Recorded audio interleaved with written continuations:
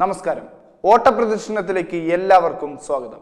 ഓട്ടപ്രദർശനം എക്സ്ക്ലൂസീവായി കണ്ട ഒരു വാർത്തയാണ് ആദ്യം തന്നെ പുറത്തുവിടുന്നത്.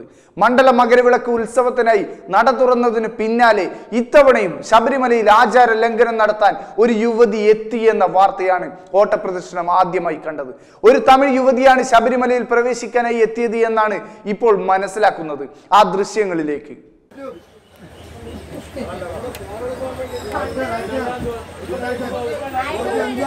ശബരിമല പോണമെന്നും പറഞ്ഞ് വന്നിരിക്കുന്നൊരു പാർട്ടിയാണ് തമിഴത്തിയാ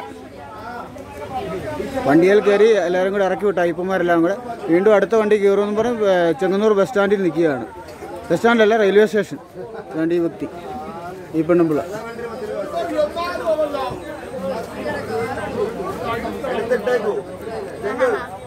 jungle. Come, come this bus. Come. Yeah, sure. I 100% sure. ഉണ്ടോ പിന്നെ പോണോന്ന് പറഞ്ഞ ഇംഗ്ലീഷ് ഒക്കെ സംസാരിക്കുന്നത് ഞാൻ സല്ലിയേട്ടാ വിളിച്ചു പറഞ്ഞു പമ്പ ബസ്സിൽ കയറിയ യുവതിയെ അയ്യപ്പന്മാർ ഇറക്കി വിടുകയായിരുന്നു എന്നാണ് മനസ്സിലാക്കാൻ സാധിക്കുന്നത്. തുടർന്ന് അടുത്ത ബസ്സിൽ കയറുമെന്ന് പറഞ്ഞ് ചെങ്ങന്നൂർ റെയിൽവേ സ്റ്റേഷനു സമീപത്ത് നിൽക്കുകയാണ് ഇപ്പോൾ യുവതി. ആചാരലംഘനം നടത്താനും ശബരിമലയെ തകർക്കാനും ഹിന്ദു വിരോധികൾ കഴുകൻ കണ്ണുകളുമായി ഇപ്പോഴും വട്ടമിട്ട് പറക്കുന്നുണ്ട് എന്ന് തന്നെയാണ് ഈ വാർത്തയിലൂടെ വ്യക്തമാകുന്നത്. അയ്യപ്പന്മാരുടെ കണ്ണു വെട്ടിച്ച് ശബരിമലയിൽ പ്രവേശനം നടത്താൻ മുതിർന്ന ഈ യുവതിക്ക് പിന്നിൽ ആരാണ് എന്നുള്ളത് തീർച്ചയായും കൊണ്ടുവരേണ്ടതാണ്. ഇനിയും ഹിന്ദുവിന്റെ സഹിഷ്ണുത അളക്കാനാണ് ഇക്കൂട്ടരുടെ ശ്രമമെങ്കിൽ അതിന്റെ ഭവിഷ്യത്ത് വളരെ കൂടുതലായിരിക്കുമെന്നാണ് ഓട്ടപ്രദർശനത്തിന് ഓർമ്മിപ്പിക്കാനുള്ളത്. അടുത്തതായി ഓട്ടപ്രദർശനം കണ്ട വാർത്ത പാലക്കാട് മമ്പറത്ത് ആർ എസ് എസ് നേതാവിനെ എസ് ഡി പി ഐ മത തീവ്രവാദികൾ വെട്ടിക്കൊലപ്പെടുത്തി എന്ന വാർത്തയാണ്. സഞ്ജിത്ത് എന്ന ഇരുപത്തിയേഴുകാരനെയാണ് എസ് ഡി പി ഐ തീവ്രവാദികൾ അരും കൊല ചെയ്തത്. സഞ്ജിത്തിന്റെ ഭാര്യയുടെ കൺമുന്നിൽ വെച്ചായിരുന്നു തീവ്രവാദികൾ സഞ്ജിത്തിനെ കൊലപ്പെടുത്തിയത്. ആർ എസ് എസ് എന്ന് കേട്ടാൽ വിറളി പിടിക്കുകയും ആയുധമെടുക്കുകയും ചെയ്യുന്ന മത തീവ്രവാദികളോട് നിങ്ങൾ തീക്കളി കൊണ്ട് തല ചൊറിയുകയാണ് എന്നാണ് ഓർമ്മിപ്പിക്കാനുള്ളത്. അടുത്തതായി ഓട്ടപ്രദർശനം കണ്ട വാർത്തയിലേക്ക് പോവുകയാണെങ്കിൽ മയിലിറച്ചി വെക്കാൻ ദുബായിലേക്ക് പോകുന്നുവെന്ന് പറഞ്ഞ് കഴിഞ്ഞ ദിവസം യൂട്യൂബറായ ഫിറോസ് ചുട്ടിപ്പാറ ഒരു വീഡിയോ പങ്കുവച്ചിരുന്നു. പക്ഷികളുടെ ഇറച്ചി വിൽക്കുന്ന ദുബായിലെ മാർക്കറ്റിൽ മയിലിറച്ചി കിട്ടുമെന്നും അവിടെ പോയി കറി വയ്ക്കാനുള്ള പ്ലാനാണ് തയ്യാറാക്കുന്നതെന്നുമായിരുന്നു വീഡിയോയിൽ പറഞ്ഞിരുന്നത്. അതിനെതിരെ വലിയ തരത്തിലുള്ള പ്രതിഷേധങ്ങളാണ് സോഷ്യൽ മീഡിയയിൽ കാണാൻ സാധിച്ചത്. മയിലിനെ കൊല്ലുന്നതിന് ഇന്ത്യയിൽ വിലക്കുള്ളത് മയിൽ വംശനാശ ഭീഷണി നേരിടുന്ന ജീവി ആയതുകൊണ്ടല്ല മറിച്ച് മയിലിന് ദേശീയ പക്ഷി എന്ന പദവി ഉള്ളതുകൊണ്ടാണ്.